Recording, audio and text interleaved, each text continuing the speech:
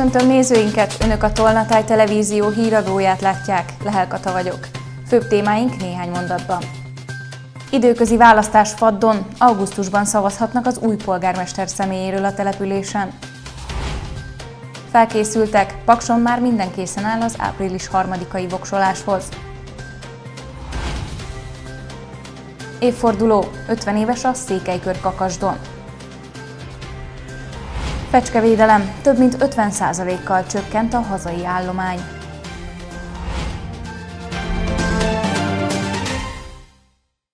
Tizenhét év után lemond polgármesteri tisztségéről Fülöp János. FAT polgármestere 2005 óta vezeti a települést, és most egészségi okok miatt lép vissza a mandátuma közepén. Azt mondja már amúgy is itt az ideje, hogy a fiatalabbak átvegyék a stafétát. Fülöp János 2005 óta vezeti Faddot, most azonban elérkezettnek látta az időt arra, hogy végleg nyugdíjba vonuljon, és átadja a helyet a fiatalabb korosztálynak. Arra, hogy ezt a mandátuma lejárta előtt tegye meg, egészségi állapota késztette. 14-ben volt egy csecsemői daganat műtétem, Szóval hál' Istennek nem volt gond, de tavaly májusban újabb daganatot találtak, és elindult egy kemoterápiás kezelés. Hál' Istennek különösebben nagy mellékhatása nincsen, de én azt gondoltam, hogy az országgyűlési választások egy időben meg tudjuk tartani a polgármester választást is, és azt terveztem, hogy január végén nyugdíjba megyek. A fennálló veszélyhelyzet azonban ezt nem tette lehetővé, sem pedig azt, hogy helyhatósági választásokat tartsanak. Így Fülöp János abban reménykedik, hogy május végén ezt feloldják, és ő június 1-ével nyugdíjba mehet. Onnantól számított minimum 70, maximum 90 nap múlva, vagyis nagyjából augusztus közepén meg lehet tartani az időközi választásokat. Van három jelölt, egyet kértem én föl, Keserű Erzsébet, a danyagodnokunk, amikor aztán nem igen volt jelentkező, akkor én azt gondoltam, hogy neki ez egy biztos nagy kihívás lesz, és mivel ismerem egy nyílt egyenes ember, én azt gondolom, hogy alkalmas erre. Tanács, ifjú tanács Géza is közbe bejelentkezett, és Bordács József, ő két éve költözött Fadra, Paksról, ő is bejelentette. A polgármester mindenben támogatja és segíti a jelölteket, és minden információt a rendelkezésükre bocsát, hogy minél jobb programot tudjanak írni az augusztusi választásra. 13.932 új koronavírus megbetegedést igazoltak idehaza kedden. Ezzel a járvány kezdete óta összesen 1.671.577-re nőtt a beazonosított fertőzöttek száma. Elhunyt 101 többségében idős, krónikus beteg, így az áldozatok száma 42.170 főre emelkedett. 5108 koronavírusos beteget ápolnak kórházban, közülük 193-an vannak lélegeztetőgépen. Oltást eddig már több mint 6 millió 376 ezren kaptak. Tolna megyében 377 új fertőzöttet regisztráltak kedden, ezzel a járvány kezdete óta 38.197-re nőtt a megbetegedések száma az országnak ezen a részén. Ahogyan a kormány azt már bejelentette, az eredetileg tervezett február 15-e helyett csak május 1-től alakul át a védettségi igazolvány oltási igazolványá. Az erről szóló kormányrendelet módosítás megjelent a magyar közlönyben. Azok a védettségi igazolványok, amelyek fertőzésen való átesettség alapján vannak kiállítva, május 1-én veszítik el az érvényességüket. Az oltási alapon jelenleg érvényes védettségi igazolványok automatikusan érvényesek maradnak májustól, ha a tulajdonosuk az előző oltástól számított 6 hónapon belül felvette a második, illetve a harmadik oltását is. Paks készen áll a 2022-es választásra. Tolna megye 3-as számú országgyűlési választókerületének választási bizottsága már fel is állt. Az első munkaüléseket február 16-án tartják meg. Tehát akkor, akkor javaslatot tett, tett a Bedecs Ferenc korábbi elnök utódjaként dr. Bercsik Lajosra, mely javaslatot én támogatom. Abszolút, Jó? Szuper. Akkor szavazni kell. Szavazzal a bizottság. A Tolna megye hármas számú országgyűlési egyéni választókerületi választási bizottság hétfő délután tartotta meg alakuló ülését, ahol számos fontos kérdésről határoztak a tagok, mondta dr. Blazsek Balázs, címzetes főjegyző, a helyi választási iroda vezetője. Mindazon kérdésekben döntött, amit a választási eljárásról szóló törvény előír. Egy ilyen alakuló ülésen megválasztotta a választási bizottság az elnököt, elnökhelyettest, döntött a bizonyos hatáskörök elnökre való átruházásáról, valamint egyebekben megállapította a lehetséges következő ülések idejét.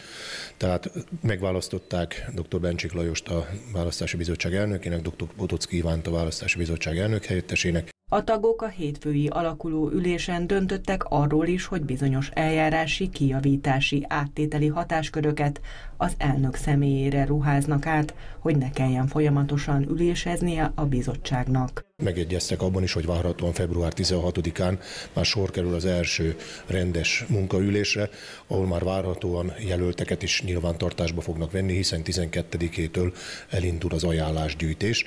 Nagy valószínűséggel az pár nap alatt a nagyobb jelölőszervezetek befejezik, és így 16-án már nyilvántartásba is tudja venni a választási bizottság ezeket a jelölteket. Azt egyelőre nem tudni, hogy hány jelölt lesz Tolna megye hármas számú országgyűlési egyéni választókerületben. Egyes becslések szerint több mint 15. A bizottságnak az lesz az egyik első feladata, hogy a jelölteket nyilvántartásba vegye. Dönteni fognak a szavazólap adattartalmáról, az azon lévő sorrendről, sorsolás útján, és ugye ne felejtsük el, egy időben lesz a népszavazás is, bármilyen olyan jogorvoslati kérésben, panaszban, amely fölmerülhet, nem akarok tippet adni senkinek, ezért nem mondom. Ezekben a választási bizottság dönt, amit a hatáskörébe utalnak, ezt követően pedig ugye a legfontosabb napok következnek, a választás, utána pedig az eredmény megalapítása, illetve a mandátum levél kiadása. Magyarország köztársasági elnöke 2022. április 3-ára tűzte ki az országgyűlési képviselők általános választását. A szavazással kapcsolatos legfontosabb információk már elérhetőek a választás.hu oldalon. Áramszünet lesz Pakson a Szírűs utcában, a Virág utca 64 68 79 93-as számok alatt, illetve a Virág utca Mária utca sarkán 2022. február 10-én reggel 8 és délután 4 óra között. A kimaradás oka, hogy a szolgáltató szakemberei munkavédelmi beavatkozásokat végeznek majd az érintett helyszíneken. Ezekben a napokban kapják készhez a dolgozók az idei első bérüket. Több mint egy millió munkavállalóhoz először érkezik meg a januártól jelentősen emelt minimálbér és szakmunkás minimálbér is. Hívta fel a figyelmet hétfői közleményében az Innovációs és Technológiai Minisztérium. Idén januártól így közel ötödével 200 ezer forintra nőtt a minimálbér, és már 260 ezer forint a szakmunkás minimálbér. A béremelés közvetlenül több mint 1 millió magyar munkavállalót érint. Tavaly minimálbérért mintegy 250 ezren, szakmunkás minimálbérért hozzávetőleg 750 ezren dolgoztak Magyarországon. Kiemelkedő eredményekkel zárta a tavalyi évet a vendéglátás az online kasszák adatai alapján, csak nem 26%-kal több bevétel realizálódott, mint egy évvel korábban, és kevesebb, mint 3%-kal maradt el a forgalom a 2019-es számoktól, közölte a Magyar Turisztikai Ügynökség. A vendéglátóhelyektől származó bevétel 2021-ben közel 500 milliárd forint volt. Fennállásának 50. évfordulójára készül a Kakasdi Székelykör. Az egész éves programsorozat részeként néptánc és kórus találkozót és mesemondó versenyt is szerveznek. A kakasdiak azt remélik, az ünnepi év ismét fellendíti a fiatalokban a hagyományok iránti érdeklődést. Az 1971-es Szexárdi Születi Fesztivál volt az első esemény, amikor a kakasdi székelyek megmutatták hagyományos viseletüket és táncaikat. Az akkori siker alapozta meg a későbbi egyesület létrejöttét. A dévai származású Sebestyén Brigitta több mint 30 esztendeje irányítja a civil szervezet életét. Az 50. évforduló tiszteletére emlékélet szervez a közösség, melynek legfontosabb eleme az októberi néptánc találkozó lesz. A nagy néptánc találkozó, ahol, ahol ott vannak sokan, összeírtam, 382-t írtam össze, aki ez a 32 év alatt itt jött, ment és valamit csinált, inkább néptáncolt, október 22, tehát, hogy addig be tudják maguknak úgy tájolni ezt az időszakot, hogy akkorra haza tudjanak jönni. A néptánc találkozó mellett az év során kiállítás nyílik az 50 esztendő dedikviáiból, székely mondó verseny és kódus találkozó színesíti majd a programot. Az október 22-i néptánc találkozóra több mint 300 olyan résztvevőt várnak, akik az évek során részt vállaltak a kakasdi székely hagyományok ápolásában. Ez a jó benne, hogy látták azt, hogy hogyan élnek, hogy mi az ő értékrendjük, mi az értékes az ő életükbe. És én azt gondolom, hogy ezt az értékrendet át lehet venni. A helyi néptánc csoport megkezdte a felkészülést a programra. Sebestyén Brigitta arra számít, a fiatalok látva a szülők lelkesedését követik a példát. Magyarország élen jár a közlekedés zöldítésében. Az Eurostat friss adatközlése szerint hazánk az uniós átlag felett, a régióban a legjobban teljesít a közlekedésben használt megújuló energiaforrásokat tekintve. Magyarország így 2010 óta közel kétszeresére javította a megújuló részarányt a közlekedésben. A zöldítésre azért kell fokozott figyelmet fordítani, mert az üvegházhatású gázkibocsátás 15%-áért az ágazat felel. Az elmúlt 20 évben több mint 50%-kal csökkent a fecskeállomány idehaza, vagyis napjainkban minden második madár eltűnt az ereszek alól. A tavasz közelettével műfészkekkel vagy fecskepelenkák felszerelésével, illetve fecskebarát falfelújítással is lehet készülni a védelmi időszakra.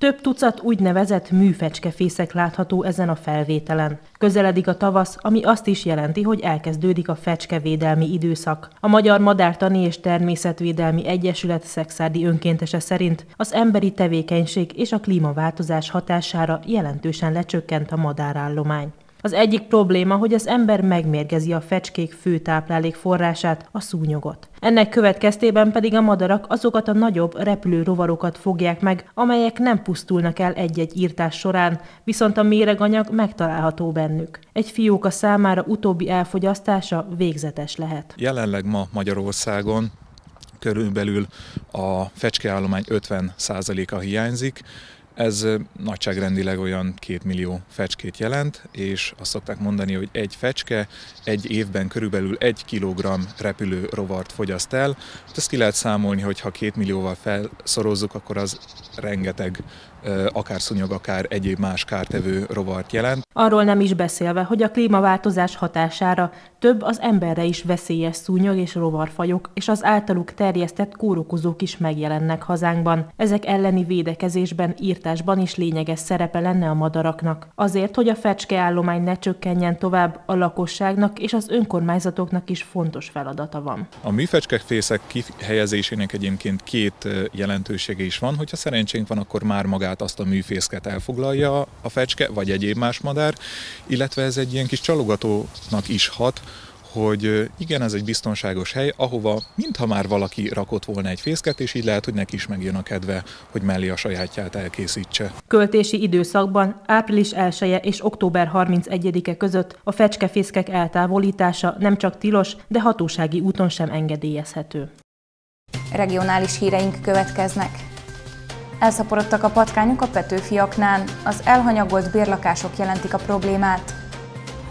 Odafigyelést kérnek a buszsofőrök Kaposváron, évi 10-12 esetben érintettek a Somogyi megyeszékhelyen. Három év börtönre is ítélhetik a pécsi nőt, állatkínzással vádolja a Pécsi járási ügyészség. Elszaporodtak a patkányok a Pécsi S utcában, panaszolják az ott élők, még a lakásokba is bemennek, ha lehetőségük van rá. A Petőfi aknán található területen önkormányzati és magántulajdonú ingatlanok vannak, a helyiek szerint az üresen hagyott és elhanyagolt szociális bérlakásokban találnak nyugodt szaporodó helyet a patkányok. De lehet, hogy a, a sütőt megnyomtam, lehet, hogy meg kinyírtam, de nem biztos. Kifejlett patkány a lakásban, erről készített telefonjával videót egy lakó a Pécsi S utcában. A Petőfiaknak környékén nagyon elszaporodtak ezek a rákcsálók, mondja egy másik ott élő stábunknak. Nagyon sok patkány van, fényes nappal mászkálnak fényes nappal, komolyan.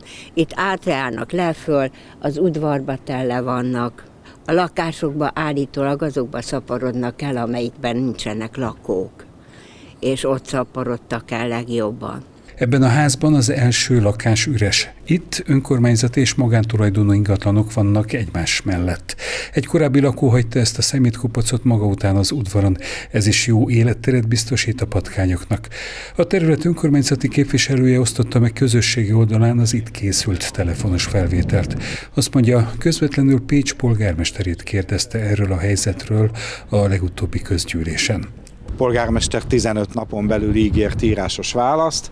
Hát ed- eleddig még ezt nem kaptam meg, reményeim szerint ez hamarosan meg fog jönni, de mindenféleképpen felhívtam polgármester úr figyelmét, hogy ezzel kezdjenek valamit. A tulajdonosoknak, illetve a bérlőknek a felelőssége, hogy rendben tartsák lakóhelyüket, és ne tudjanak megtelepedni a patkányok.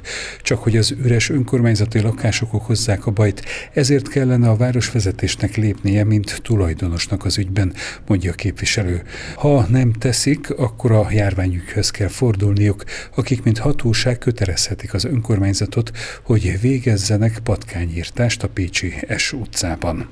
Figyeljünk oda jobban a buszokra, főként a reggeli és a délutáni csúcsforgalomban. Ezt kérik a Somogy megyei sofőrök. Ezekkel a nagy járművekkel ugyanis nehezebb megállni, és egy balesetnél több tucat sérült is lehet. Kaposváron évente 10-12 olyan baleset történik, amelyben a közlekedési társaság buszai is érintettek.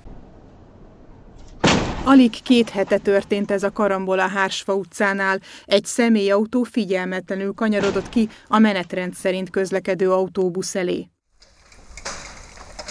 Így fest most a busz. Az eleje teljesen összetört, a szélvédő berepett, és az első ajtók sem nyílnak ki rendesen. A balesetben szerencsére nem sérült meg senki, de egy ilyen helyzet a buszsofőröket is megviseli. Egy ilyen szituációban tekintettel kell lenni arra, hogy 40 adott esetben 80 ember biztonságáért a sofőr felel. Ebben a szituációban, mind amit mögöttünk is történt, a sofőr nagyon jól reagált. A közlekedési társaság arra kéri a sofőröket, figyeljenek oda jobban a buszokra, hiszen a buszvezetők nem ránthatják el a kormányt, és nem is vészfékezhetnek, mert akkor az utasok is megsérülnének. Siet általában, vagy a munkahelyre, vagy az iskolába viszi a gyereket, vagy haza siet, bevásárolni siet, ekkor, ekkor a koncentráció megoszlik, esetleg többen ülnek az autóba, másra figyel, és az ilyen figyelmetlenségből adódik a legtöbb probléma. Az elmúlt három évben körülbelül 30 ilyen ütközéses, koccanásos baleset történt Kaposváron, ebből két esetben hibázott a buszsofőr. Akár három év szabadságvesztésre is ítélhetik azt a pécsi nőt, akit állatkínzással vádol a Pécsi Járási és Nyomozóügyészség. Az elkövető még 2020 őszén öt kiskutyát zárt be a háza udvarán található mellékhelyiségbe, azonban nem gondoskodott arról, hogy ételhez jussanak. Az ebek az épületben található tárgyakat próbálták megenni, ekkor egyikük egy szivacsot evett meg, ami fulladáshoz vezetett. A nő végül saját magát buktatta le, de nem ismerte betettét, azt mondja nem is tudott a melléképületben tartózkodó kutyákról.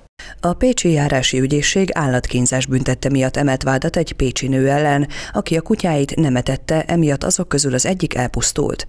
A nő lakóhelyén tartott kutyája még 2020 őszén hét kiskutyát ellett, melyekből kettőt elajándékozott. A nő a megmaradt öt ebet sem akarta megtartani, ezért miután a kutya befejezte a kicsik szoptatását, berakta azokat a házához tartozó udvaron lévő melléképületbe. A vádlott ezt követően az öt állatot ott zárva tartotta, nem gondoskodott gondoskodott arról, hogy ételhez jussanak. A kutyák a helységben található dolgokat próbálták megrágni, megenni. Ennek következtében az egyik kiskutya egy szivacsot is megpróbált eh, megenni, amelynek következtében ő elpusztult, ugyanis ez a fulladását okozta. 2020. decemberében állampolgári bejelentésre került sor, ekkor eh, kimentek a rendőrök a helyszínre, és a eh, meghalt, elpusztult kiskutya mellett négy további kutyát találtak, akik kórosan sovány lányok voltak. A bejelentést egyébként maga a nő tette, szomszédja ugyanis légpuskával lőtt a levegőbe, mert elviselhetetlenek voltak a hangok és zajok. Ekkor vizsgálta meg a rendőrség a melléképületet. Az életben maradt négy kiskutyát egy állatvédő egyesülethez szállították, miközben a vádlott tagadta, hogy tudott volna az ebekről.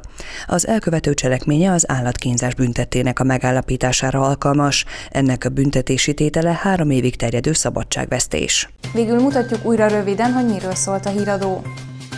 Időközi választás Faddon, augusztusban szavazhatnak az új polgármester személyéről a településen. Felkészültek, Pakson már minden készen áll az április harmadikai voksoláshoz. Évforduló, 50 éves a Székelykör Kakasdon. Fecskevédelem, több mint 50%-kal csökkent a hazai állomány.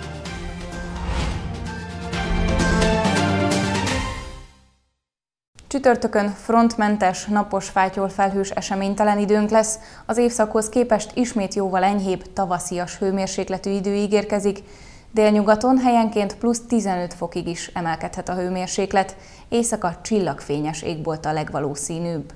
Friss hírekkel legközelebb csütörtökön este jelentkezünk, addig is kövessék műsorainkat, illetve keressenek minket a Facebookon, ahol naponta friss hírekkel, érdekességekkel várjuk Önöket. Ha látnak valamit, ami Önök szerint figyelemre méltó, akkor azt osszák meg velünk, hogy másoknak is megmutathassuk. Mára köszönöm figyelmüket, viszontlátásra!